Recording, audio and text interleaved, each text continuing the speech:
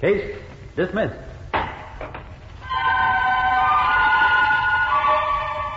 Monday morning was something quite different. At first, I suspected nothing. Then rumors began floating around.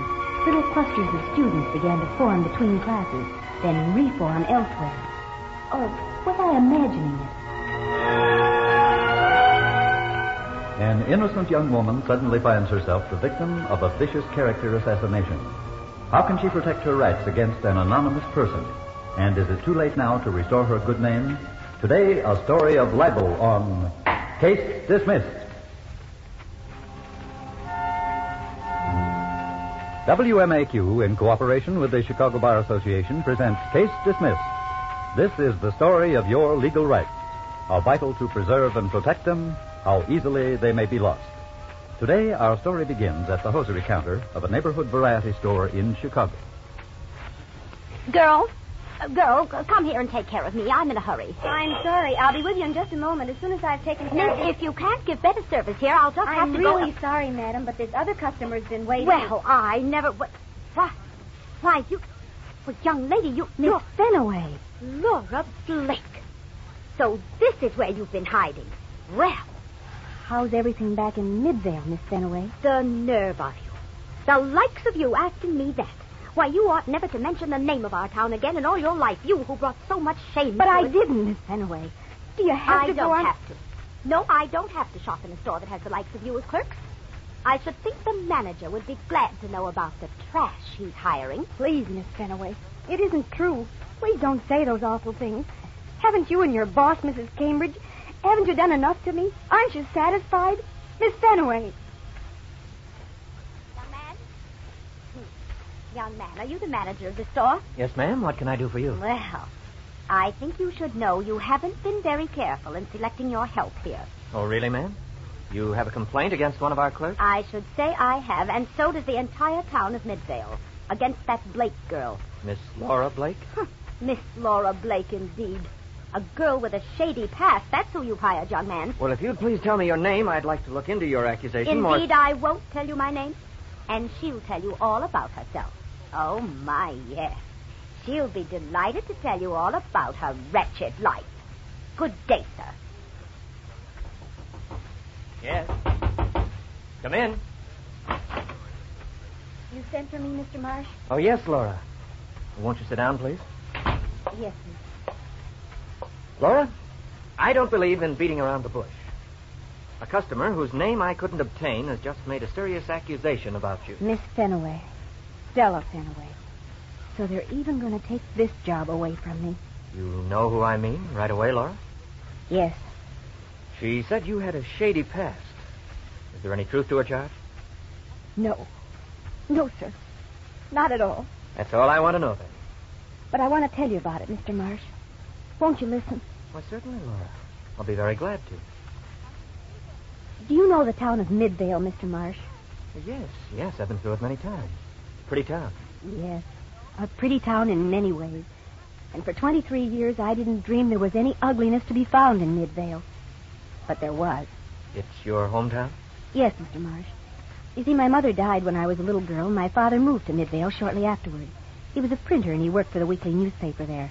Dad hired a housekeeper, Mrs. Briggs, who took care of me when he wasn't home. Dad and Mother had been devoted to each other, and her death left him adrift.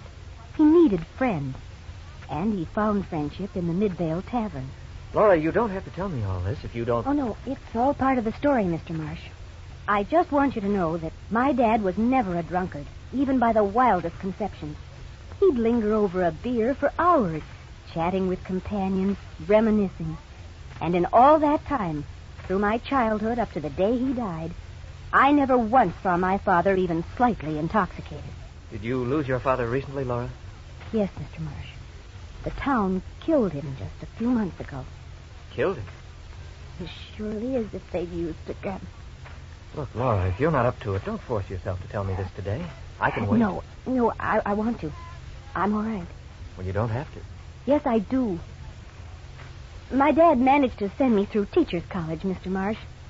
I remember how proud and happy he was the day I learned I'd been selected to teach right at home in Midvale High School. Laura Blake, English and Speech Department. all rolled into one delighted girl. Even my first meeting with Miss Fenaway's boss, school board president Lillian Cambridge, failed to lessen the joy of that first day. And now, Miss Blake, um, we of the school board are naturally happy that one of our own Midvale residents has been chosen to become a member of the faculty. Um, however, I must warn you that you will be expected to lead the same kind of exemplary life required of all our teachers. Oh, yes, of course I will. I simply want to emphasize it, Miss Blake. Smoking in public is not allowed, and is discouraged even in private. Late hours are to be avoided at all times.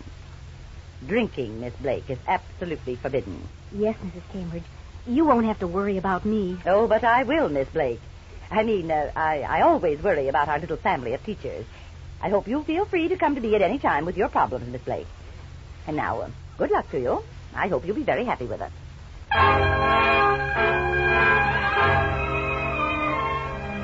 I'd known about Lillian Cambridge almost all my life. The Cambridges had helped found the town of Midvale, and their descendants ran the town. Lillian Cambridge owned one of the town's hardware stores, and in all the 23 years she'd been a school board member, no other concern had shared in the school's hardware and sports equipment purchases. No one dared challenge this, not even the other hardware man. His predecessor had tried. Then overnight, he vanished from town under the cloud of a scandal. Well, I taught at Midvale High for a year, watching Mrs. Cambridge run her little dictatorship, blocking a much needed school building program, arranging for a friend's daughter to skip from fifth to seventh grade vigilantly serving as the self appointed watchdog over the teachers' private lives. Then one day, the new coach, Ralph Tracy, made a very serious mistake. He went to Mrs. Cambridge complaining about some new track and playground equipment, purchased, of course, through Mrs. Cambridge's hardware store. Perhaps he wasn't aware. Perhaps he was just daring. At any rate, he was playing with danger. Mrs. Cambridge, I, I feel the school has been cheated. Oh, really, Mr. Tracy? In what way? Well, that track and playground equipment we ordered, i- it's not the same kind I originally approved. This stuff is cheap and flimsy. One of the boys tripped on the hurdles and the board smashed to smithereens. It's junk, Mrs. Cambridge, every stick of it, and dangerous to the students. I think you've made a mistake, Mr. Tracy. Surely it can't be as bad as you say. Actually, it's worse, Mrs. Cambridge. I won't let the youngsters use this equipment. Oh? You won't? No, ma'am. I wouldn't want to see a trapeze break or a pole snap and injure one of them for life. Aren't you over dramatizing this, Mr. Tracy? No, indeed. That's cheap equipment. And if you want my honest opinion, the school's been gypped. That's your opinion? Yes, ma'am, and if I have anything to say about it, the parents are going to know about this. Thank you, Mr. Tracy. I'm glad to know how you feel. I'll see that action is taken immediately. Well, thank you, Mrs. Cambridge. Good day, Mr. Tracy. Goodbye. Yes. Goodbye, Mr. Tracy. You're right, of course. The parents are going to know about this. Overnight, a vicious rumor about Coach Tracy started in Midvale. By morning, it had spread all around the town to the beauty parlors and men's clothing stores and barber shops and taverns. Who'd started it? No one knew. Who'd spread the story?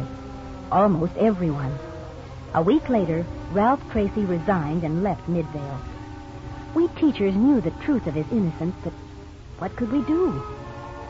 That's where I made my mistake, I guess. I called a meeting in my English room. We all know what's happened. A fellow teacher has been ruined. Not one of us needs further proof of his innocence. Yet, because of his wife's heart condition, Ralph chose not to fight it. He ran away from a false and vicious rumor someone started. Yes, and we all know who started it. Careful, Genevieve. We have well-founded suspicions, but we've no right to air them till we're sure. That's my suggestion. That we investigate this whole sad case until we find the guilty party and can prove it. The best thing we can try for is to clear Ralph Tracy and get him back here.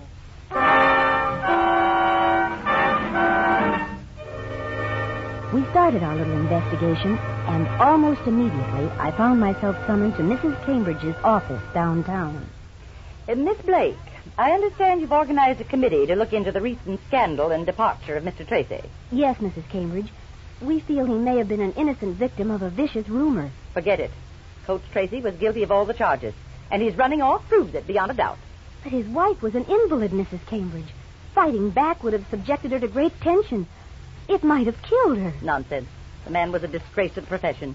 We're well rid of him. I advise you to cease your foolish plans to help him, no matter how good your intentions. I'm sorry, Mrs. Cambridge, but we all agree we should continue. We seem to be making a little headway. You will stop it, or you'll answer to me, to the school board. Now that's an order. If you'll excuse me, Mrs. Cambridge, I don't think the school board has any right to stop us from trying to prove a man's innocence. Miss Blake, I'll not tolerate such insolence. I'm sorry, Mrs. Cambridge. I intend no insolence. But you won't halt this silly investigation? No, ma'am. Not yet. Miss Blake, we shall see who's running Midvale High School. Good day to you. Goodbye, Mrs. Cambridge. Two mornings later, as I left my home, I discovered a sealed white envelope without postmark or stamp in my mailbox. I opened it and read the typewritten message. Speaking for all the citizens of Midvale, we've been asked to advise you that further efforts on your part in behalf of Coach Ralph Tracy will not be tolerated. Nothing you can do will convince us he was not guilty. We are well rid of him. For your own good, stop now. Signed, Citizens Committee of Midvale.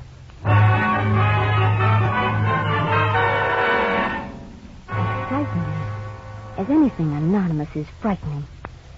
I debated whether I should tell our teachers group about the letter. Finally, I did. And most of them wanted to halt our investigation for my sake. But I persuaded most of the faculty to continue.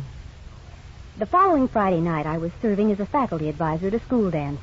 At intermission time, I gathered up the tickets and money from the student ticket sellers at the door and took them back to the principal's office for safekeeping.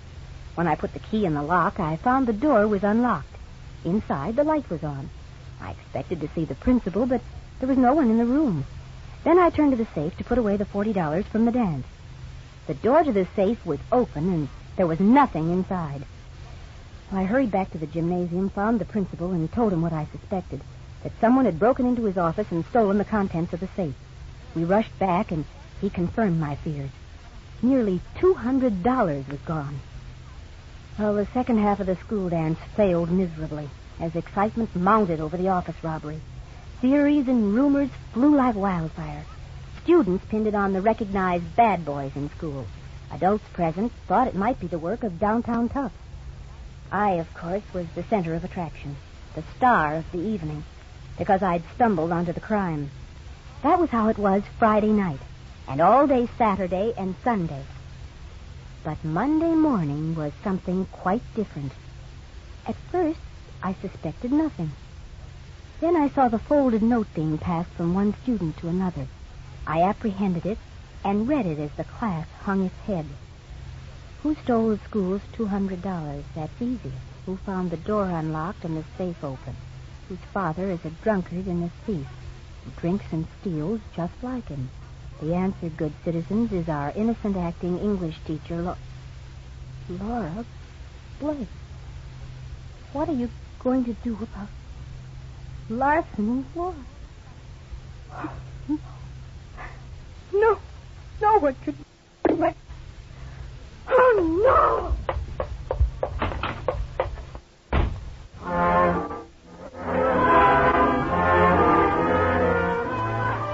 It was. My friend Genevieve Hibbs stood by me and helped me regain my composure. And then the full truth came to me. I'd been accused of theft and of drunkenness by an unknown writer who'd sent identical letters to 25 of Midvale's leading citizens. When I could think clearly again, I tried to find out who'd sent the letters. I had a strong suspicion, of course, but the post office ended that very swiftly. The letters, they informed me, had been placed in the post office sometime after 7 o'clock on Sunday evening. And I knew beyond a doubt that Mrs. Lillian Cambridge, my number one suspect, had left town by train on Saturday night and wasn't expected back for a week. She might have had an accomplice, but how would I know? What could I do? Nothing, I decided. The rumor grew and was magnified as it traveled. My best friend stood by me, but the other kind, well, I began to notice some of my faculty associates who used to stop and chat at lunchtime now carefully avoided me. And more and more I heard snickers and whispers about Larson and Laura behind my back. I tried to shield my father, but of course it was impossible. He was furious. But the more tongues wagged, the less he said, and the sicker he became. And there we were in the middle of a horrible nightmare that never ceased, but just grew and grew. Well, the school board election returned Lillian Cambridge to her presidency without opposition. And I think it was then that I knew that my cause was lost. Her secretary at the hardware store, Miss Stella Fenaway, called on me at my home a week later. She came quickly to the point of her mission. I do hope you'll consider the advice of Mrs. Cambridge and myself. Spare yourself and the school further embarrassment by resigning from the faculty at the end of the spring term.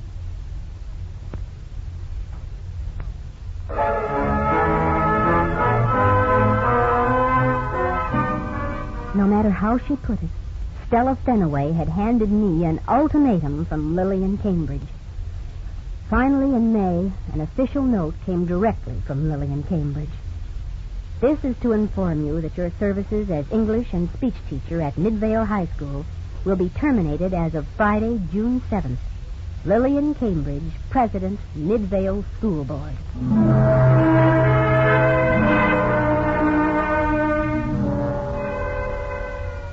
I'd expected it for some time, of course, and I was prepared for the shock.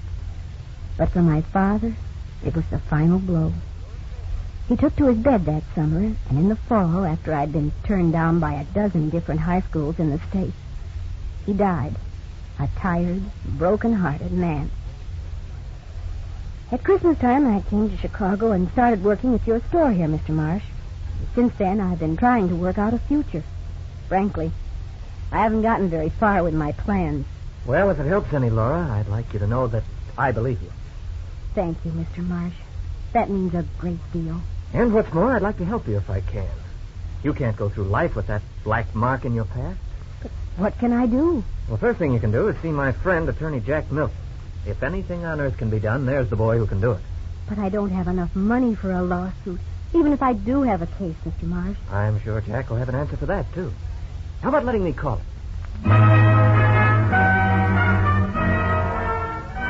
Well, Miss Blake, you've really had a rough time. I'm certainly glad you came to me before it was too late.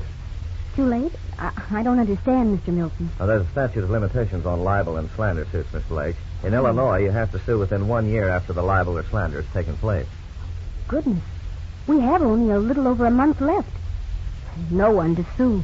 Don't you think this story about you has been repeated specifically by a number of different people in Midvale? Oh, yes, I'm sure it has. Well, all we have to do is find someone who has repeated that you're a thief, Miss Blake. We, we don't have to find the person who actually started the rumor, and it doesn't make any difference even if a person repeating it believed it was true. Oh. But I don't want to make a mere gossip pay for this, Mr. Milton. I'm only interested in vindication. I want the party who viciously started it to say it isn't true. Well, if we identify someone who repeated it, we can undoubtedly trace it back to its origin. However, the fact that you have some strong suspicions about someone with considerable motivation may prove helpful here. Perhaps not. At any rate, I think the collection of notes you received is the is the place to begin. Oh, you mean the warning note and the actual libelous note? Yes. And also the official notice of dismissal sent you by Mrs. Cambridge, the school board president. Hmm. But they were all typewritten, Mr. Milton. The warning and the libelous note had no signatures. Well, a typewriter has a signature all its own, you know. And we'll get a typewriter expert on this and have him do a little sleuth work. They can trace a typewritten note right down to the make and model of the typewriter, and, and even to the owner. Suppose we have a try.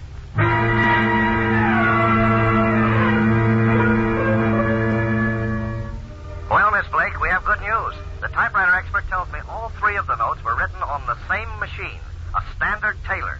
Then Mrs. Cambridge did write those horrible things. It seems very likely. However, we'll need every shred of proof we can find. That's why I plan to visit your former hometown of Midvale tomorrow. If the office supply shop manager keeps a record of his sales, we should be able to locate that typewriter. And if it definitely belongs to Mrs. Cambridge? Yes, that's what we hope to find. Of course, we haven't won your case by any means, but we're getting some mighty good evidence.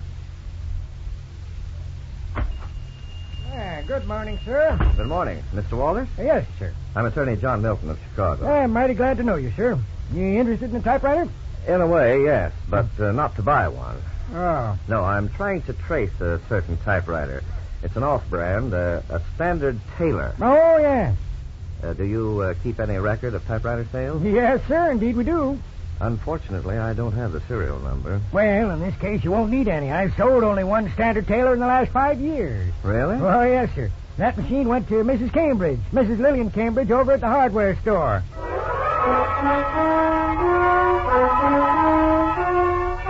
You can see, Miss Blake, it all turned out to be a lot easier than I'd even imagined. Oh, it's marvelous, Mr. Milton. You've done so much already. Well, I think we just about have a case here now. Well, then before we go any further, Mr. Milton, you must understand I'm very short of money. I know all about that, Miss Blake, and I believe I have a solution for you.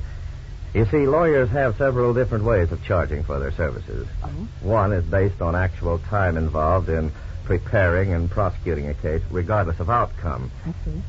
Usually, a lawyer has a basic hourly fee, the amount of which depends on his expenses for books, stenographer's salary, rent, and so forth, in addition to compensation for his own time and work. I understand, Mr. Milton. Still, another method is by charging a flat fee for a given type of case. For instance, so much for an ordinary divorce action, so much for an adoption, so much for the making of a simple will. Oh, well, do you have a special fee for a libel action of this kind? No, every libel action differs from every other, you see, but uh, this is a case that lends itself admirably to the third way of charging, the contingent fee. Here, if you win, I would take a percentage of the amount you receive, usually not more than one third, sometimes less if the case is settled out of court. If you lose, you owe me no fee, but you do pay the court costs. In other words, uh, there's a risk involved. But if that method uh, suits you, I'll be willing to take your case on that basis. Oh, it certainly sounds very fair to me. All right. Excuse me a moment. Sure. John Milton speaking. Mr. Milton, are you the attorney who was in Midvale yesterday? Oh, yes, ma'am. With whom am I speaking? You don't know me, Mr. Milton. My name is Stella Fenaway. Oh, yes? I live in Midvale. I, uh, they say you were asking about a certain typewriter at the local supply store. Oh, that's right. I'm seeking information for a client of mine, a former resident of your town. Uh, Mr. Milton, your client, uh, that couldn't be Laura Blake, could it? I'm sorry, Miss Fenaway. I'm not at liberty to divulge the name of my client. But, but you mentioned it when you were in Mr. Walter's typewriter shop yesterday. I, I mean, I understand you mentioned her name. I did? Oh, I had no idea. Mr. Milton. Of what, Miss Fenaway? I, well, I, I don't want to be sued for something I didn't. Let me say this, Mr. Milton. If I could help you identify the person who wrote those anonymous notes about Laura Blake, could you promise not to sue me too? I believe I have my client's permission to make that promise, Miss Fenaway. But I don't quite understand why you think she would have a case against you anyway. I, well, I, I delivered those letters to the post office. The letters that were written by my employer, Lillian Cambridge. I'll be getting in touch with you, Miss Fenaway. Goodbye. Strange things happen when a person is trying to save his own skin. At any rate, Laura, now we're well prepared to go ahead with your libel suit against Lillian Cambridge. Uh,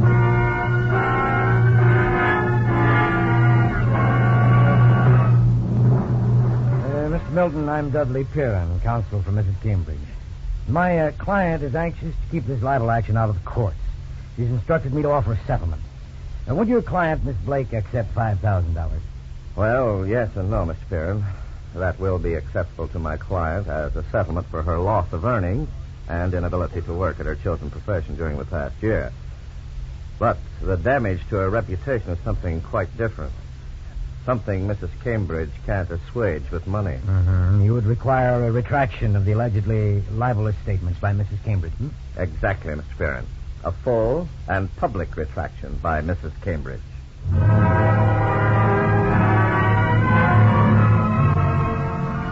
Well, Mr. Marsh, today's the day. I'm off for Colorado. We'll miss you at the store, Laura, but I'm certainly glad you're returning to your profession. Good teachers are badly needed. That's why I'm taking this summer course. I won't be a good teacher unless I get back into the mental trim I was in a year ago before all this happened. I'd say you have a fine start, Laura. well, I have you and Mr. Milton to thank for that, Mr. Marsh. It's a terrible thing to live under a cloud of suspicion. Thank goodness for our legal rights, Laura. And for the laws that protect us against unprincipled people who try to take our rights away.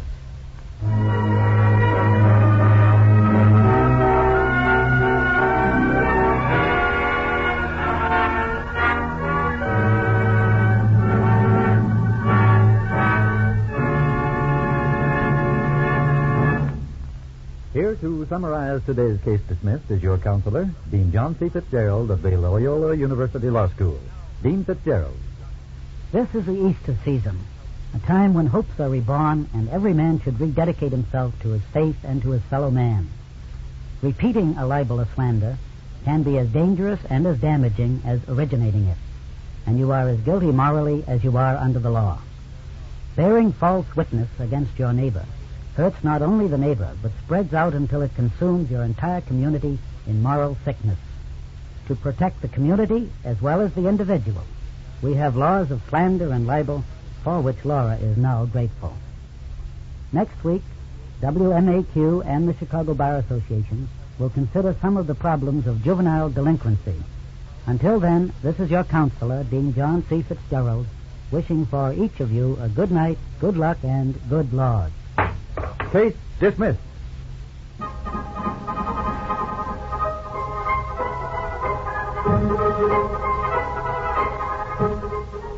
For plain answers to common questions about you and the law, remember to write for your free booklet entitled Meet Your Lawyer. Address your request to Chicago Bar Association, 29 South LaSalle Street, Chicago 3, Illinois. Case Dismissed was written by Robert Carmen and is based on information supplied by the Chicago Bar Association and its lawyer members. All characters were fictitious, and any resemblance to any person living or dead is purely coincidental. Members of today's cast were Meg Hahn, Viola Berwick, Geraldine Kay, Jack Lester, Charles Flynn, and Harry Elder. Case Dismissed is produced by Betty Ross. Direction is by Herbert Lateau. Musical effects were transcribed. Sound by Tom Evans. Engineering by Gary DeVlies. This is Lee Bennett speaking, inviting you to return next Saturday at this same time when we'll bring you a story about legal aspects of juvenile delinquency on Case Dismissed.